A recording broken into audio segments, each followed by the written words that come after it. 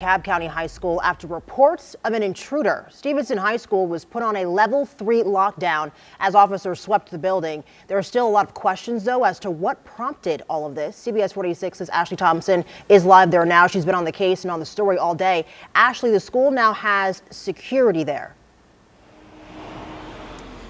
We know police arrested one male juvenile in connection to this lockdown, but right now officials are being very tight-lipped as to why that juvenile was arrested.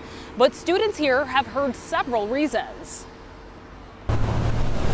Not the best start to the school year for DeKalb County's Stevenson High School. On this morning, we had officers burst into our room and was put on uh, lockdown, level three. Officials with DeKalb County schools say reports of an intruder prompted the level three lockdown. Everyone thought it was a drill, and then everybody got on Instagram posting that there was helicopters and police, and the police started busting in classrooms they were looking for someone. DeKalb County School District officials say police swept the building and tell us everyone was safe, but they won't say if they found anything suspicious in that sweep.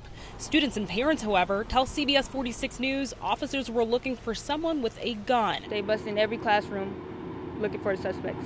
The lockdown creating panic for some parents who wanted to get to their children. This mom recorded the chaos on her phone. Can we go get our kids now? Come on, Devin. Just keep walking. Keep walking. She says she was taken to the ground by police officers when she tried to get to her son.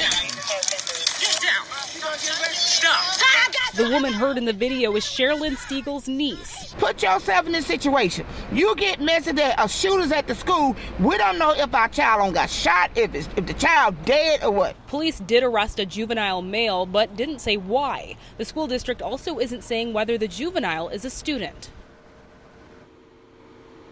Now, after the building was swept, the school remained on a level one lockdown for the rest of the day. But again, there are many questions here. We're going to continue to press for those answers. And the name of that juvenile has not yet been released, possibly because he is a juvenile. But again, we will continue to work to get some answers here.